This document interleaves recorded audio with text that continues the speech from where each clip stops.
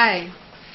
Today in this video I'm going to show you how to solve a division problem using uh, objects and arrays. The first thing that you need to learn about arrays is that there is rows and columns.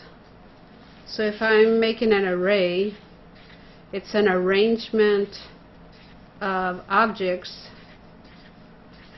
and I'm using columns and rows. So here's a row. This is a row right here. So if I ask you how many rows we have here in this picture, you have one, two, three rows. But if I ask you how many columns, this is a column. The column goes up and down, and we have one, two, three, four columns. Usually, when you are working a division word problem, sometimes you have the word rows, like right here, in this one right there. So let's read our problem first. It says, if 20 sculptures at the art show are on display with four sculptures in each row, how many rows are there? So I'm going to first uh, use objects, and it's telling me that I need an amount of 20 sculptures. So I'm going to use 20 objects to represent the sculptures. And it's also telling me that on the display there's four sculptures in each row. So I'm going to do my first row and my first row has has uh, four sculptures. But before I do that, I have to make sure that I have 20. So let's count. 2, 4, 6, 8,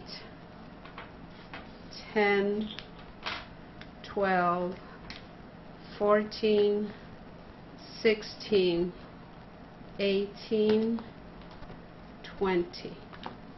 So I've made sure that I have my 20 objects here. Now I'm going to arrange them according to the word problem. So they say this, the, the display with four sculptures in each row. I'm going to do my first row. So here's my first row. And now I know that all I have to do is just build rows of four sculptures in each until I'm done with my 20 objects. That way now I can answer the question. So let's continue. Here's one row, two, three, four. And the last one is five. So the question is how many rows are there?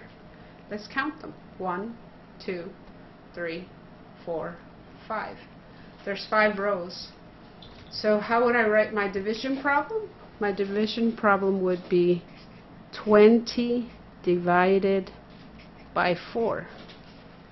Say you don't have objects or uh, you just want to do it quick. Well, I'm going to show you how to do an array.